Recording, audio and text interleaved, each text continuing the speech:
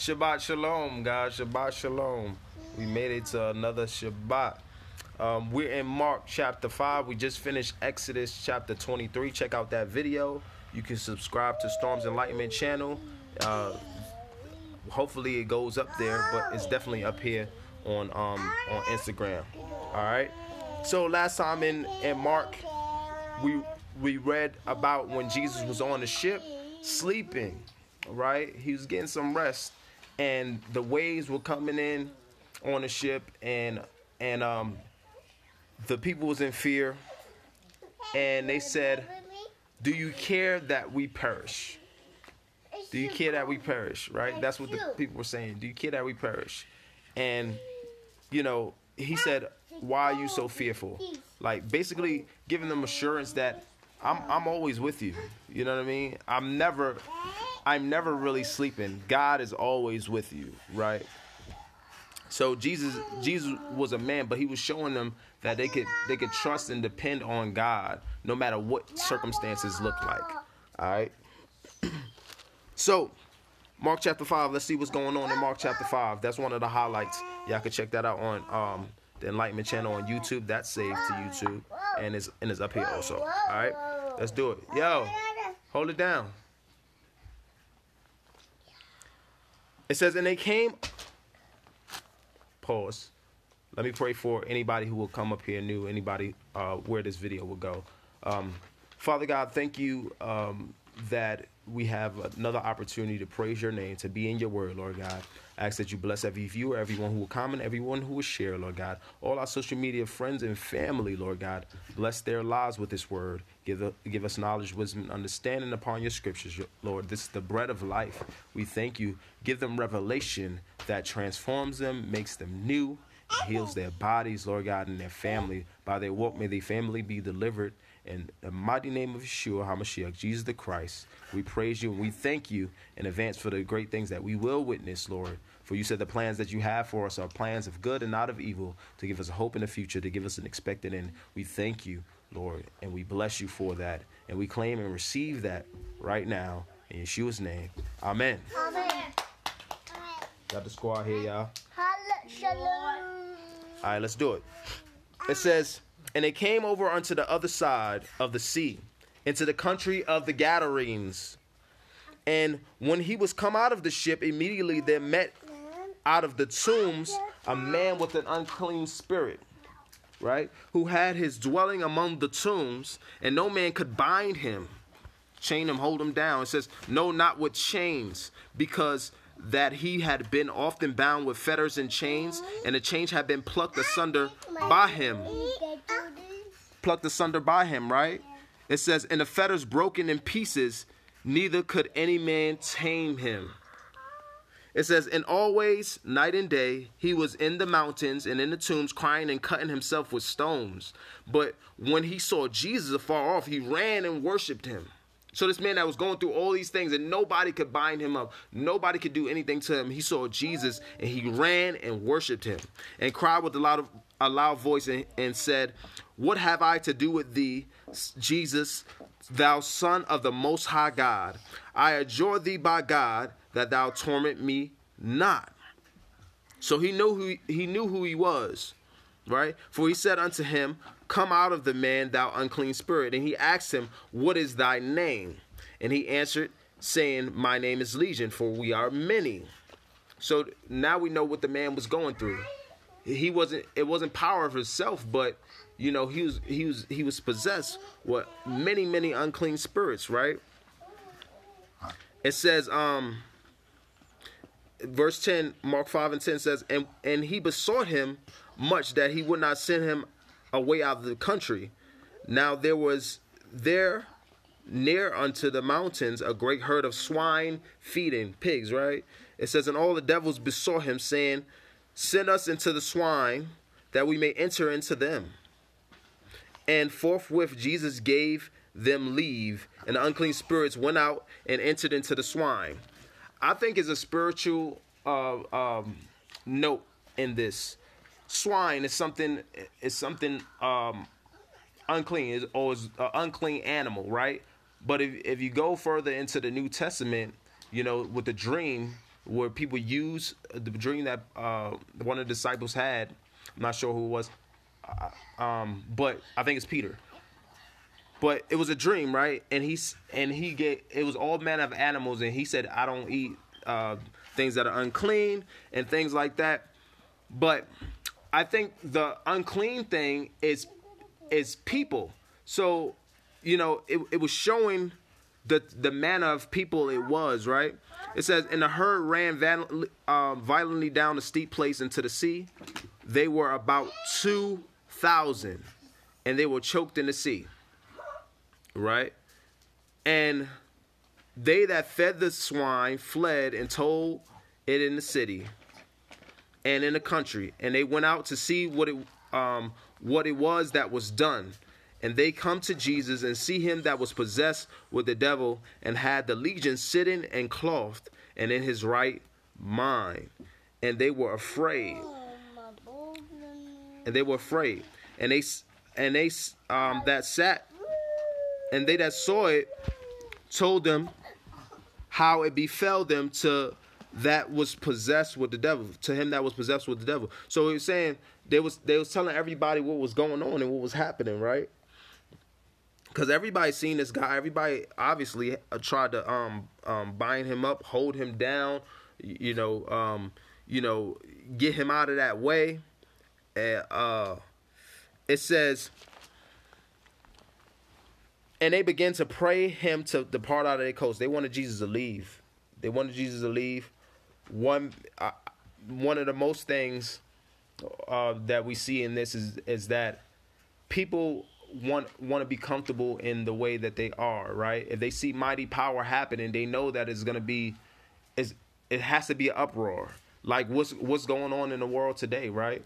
You know, um everybody knows the things that that are happening. But if God is going to move, and this is why people didn't want Jesus, if, if when God moves, when God moves, a lot of things are gonna be on the surface. A lot of evil, like see how the Legion said their their name and people, uh, you know, everything in the dark's coming to light. So people didn't want that around them because they knew that some people are gonna get hurt, things are gonna happen. You know, it's, it's judgment. It's the judgment of the Lord, right? So they wanted him to leave, even though he performed miracles and healed people they they said you know they said to themselves they didn't want the miracles because what what they came with. You know if god is going to change you he, he's going to change everything about you you know? All right. So it says um, verse 18 mark 5 and 18 and when he was come into the ship he that had been possessed with the devil prayed him that he might be with him. Howbeit jesus suffered him not but said unto him Go home to thy friends and tell them how great things the Lord have done for thee, and have had compassion on thee. So under, uh, it says, and he departed and began to publish in the Decapolis how great things Jesus had done for him, and all the men did marvel. A lot of people don't see this, but Jesus healed that man. He healed that man even with his words. I have a Bible where Jesus' words is written in red. He said, Go home to thy friends and tell them great things the Lord have done for you. But he wanted to be Jesus' disciple. So no, he did this a lot. So when you see the gospel all throughout the world and you see all um all these different divisions of Christianity and things like that, it was a lot of people that Jesus was healing, but he wasn't making them disciples. He only had 12, but he freed and healed, you know, countless people. You know, it says it, it he it can't even be fit in a book. Um, all the books in the world, all the miracles that that Jesus wrought, right? It says um and he departed and began to publish it in Decapolis how great things Jesus had done for him, and all men did marvel. And when Jesus was passed over again by ship unto the other side, much people gathered unto him, and he was nigh unto the sea. And behold, there cometh one of the rulers of the synagogues, um, Jairus by name. And when he saw him, he fell at his feet and besought him greatly, saying, My little daughter lies at the point of death. I pray you, Come lay hands on her that she may be healed, and she shall live. And Jesus went with him, and much people followed him and thronged him. So they were they were bumping into him, you know, while while they were following him. Right? And a certain woman which had an issue of blood twelve years and had suffered many things of many physicians and had spent all that she had and was nothing bettered, but rather grew worse. So she was spending all her money on doctors and stuff like that. And it says she suffered many things. She'd been through a lot. And she spent all her money. So look at this. It says when she had heard Jesus, when she had heard of Jesus, came in the press behind and touched his garment. For she said, If I may touch but his clothes, I shall be whole. And that's faith, right? And straightway the fountain of her blood was dried up, and she felt her um, in her body that she was healed of that plague. She felt in her body that she was healed of that plague. That was because of her faith, right? So we we should be God seekers every day in that same way. And I, I, I want y'all to notice something, and I say this a lot, that miracles start from nothing. Once we're poured out of what we have, God will God will do the miracle in us. Because usually we depend on the things that we have. We depend on the things that we have over God, right? We look at our stuff, our circumstances, but we should be looking to God, right? So a lot of times, you know, he has to allow us to get to that point where we're like, I have nothing left. But that's when you have everything because you have God. He wants to direct and keep your focus and your attention on Him, the, the one who works the miracles, right? So um, this is what she experienced. It says, And Jesus, immediately knowing in himself that virtue had gone out of him, turned him about in the press and said, Who touched my clothes? Right? And his disciples said unto him, Thou seest the multitude thronging you, and and back up, y'all, and um and say and you saying, Who touched you? That's what they were asking him. And he looked round about to see her that had done this thing. Right? But the woman, fearing and trembling, knowing what was done in her, came and fell down before him and told him all the truth. So she was trying to get her healing, and I guess she was trying to she was trying to just walk away like, oh, I was healed. But she believed in God. Um, but God wanted to do something with her, something more. He doesn't just leave you with a miracle, but he this, watch what he does. He told him all the truth, and he said unto her daughter, Thy faith hath made you whole. Go in peace and be whole of thy plague. So she got it personally, but he he drew her into relationship. So God doesn't want us to come to him just for just for the miracles, but he wants us to know him, know his ways, know his heart. He he said, while he yet spake, there came from the ruler of the synagogue synagogue house certain which said, Your daughter is dead. Why troublest? Why are you troubling the master any further? And, I, and I'm translating. I got a King James, but I'm not going to read it that way. I'm going to translate it.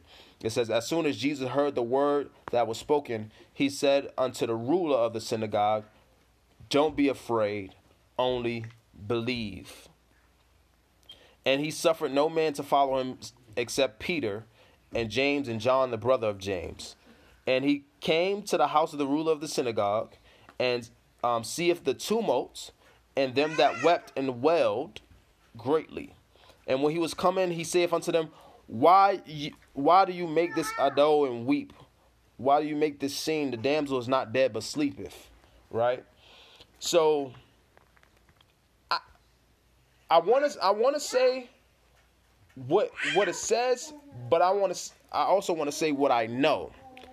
I know that they were keeping her bound by by having a mindset that she was dead already instead of having faith in God, right?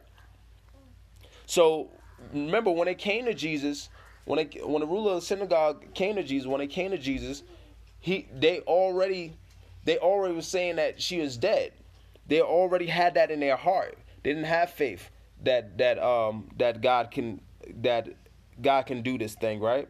And they laughed him to scorn, the people that was there. But when he had put them all out, he taketh the father and the mother of the damsel, and them that were with him, and entered in where the damsel was lying.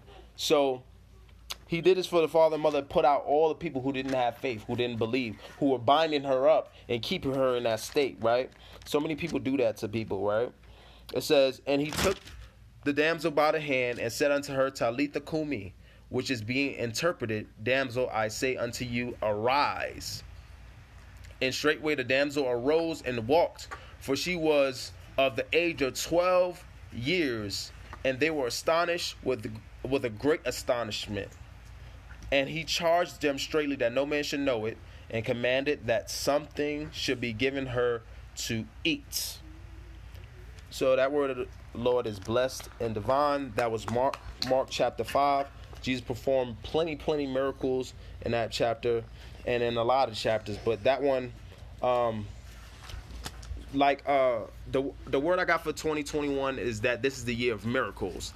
And even though it's miracles, just like Mark chapter 5, we're going to see a lot of crazy things happening amongst those miracles. So even though we'll see a great revival, we'll see, you know, great uproars in the world too. And a lot of people won't agree with that and won't want God in their life when they when they see those things happening. Now I've heard, now I don't know for sure, but it makes a lot of sense that worship was going on right before you know people uh, went into the the the Congress or whatever building that they they went into and stuff like that.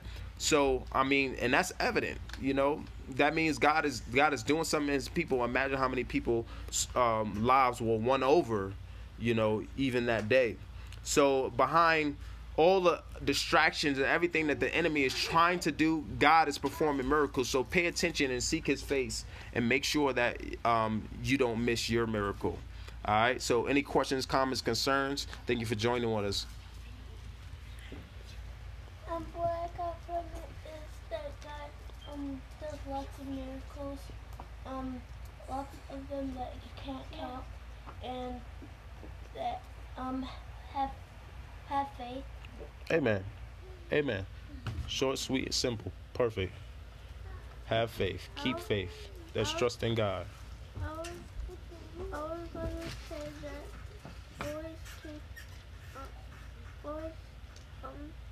trust God and don't think he he can't do anything. Okay. Always trust God and don't think that He um, anything is impossible for Him. Amen. It's perfect. Daddy, Don't try to be too deep. Daddy, I have a question. I know, I know, I know, Daddy, I know, Yeah, you're on. I know, Daddy, Daddy. um, what I got from this chapter is that um, um, God always, God wants a relationship with all of us because He's the one that created us, and um, if you praise Him in secret, He will bless you openly. Okay. What you do for him in secret, he'll bless you openly. Okay. How how how um is it that what you do for him in secret, he'll bless you openly? How, how did you get that from the scripture? I know that you know that, and I know that you, you know he calling us into a relationship, but um, how do you, how do you see that um, in the in the scripture? Well, that's um, in my sense, this is how I like like saw it out of it. Um, she touched um, she touched his garment and it was kind of like blessing him, and then she, and then she tried to walk away, but um, G- um, Jesus called her and blessed her openly by saying, "You are whole." That's powerful. All right, I ain't see that. That's that's what's up. Good, go for it. Um, God, God, um, feed, feeds you, you, um, his body, um, from, from, and his blood. God feeds you his body and his blood. What you mean? Like you mean you eat his you eat his skin and and and his the blood out of his body? That's kind of crazy. I don't, I don't mean, So what you mean? so, I, I mean eat food. Oh, eat food. Eat food. What kind of food? Is it any kind of food? So cereal you eat in God's body? Oh. How though? How? So if I just take a bowl of cereal and I start eating, I'm eating God's body. So how do I how do I make the cereal God's body like?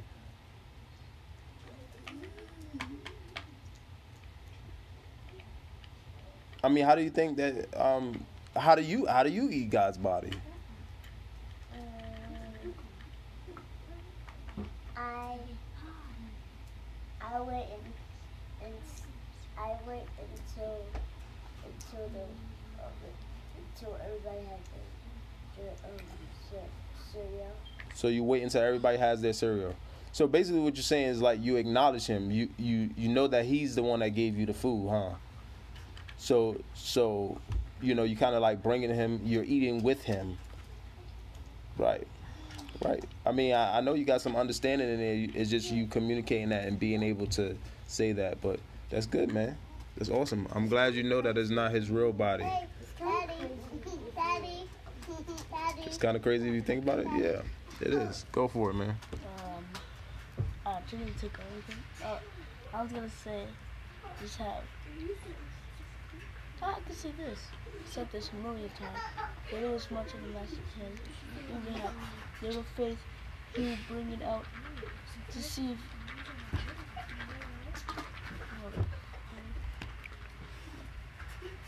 Oh, um, if you have a little bit, he will, he will give you more. Okay, if you have a little bit of faith, he'll give you more. How do you how did you see that in scripture? If you have a little faith, he'll give you more.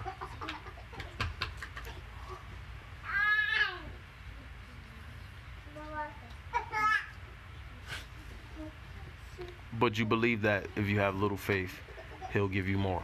Not, not How did that happen in your life? Because if you believe it, that it had to happen in your life, right? No, not, not just. I, I don't have I don't have little faith just to get most. So help me help me understand what you mean by if you have little faith, he'll give you more.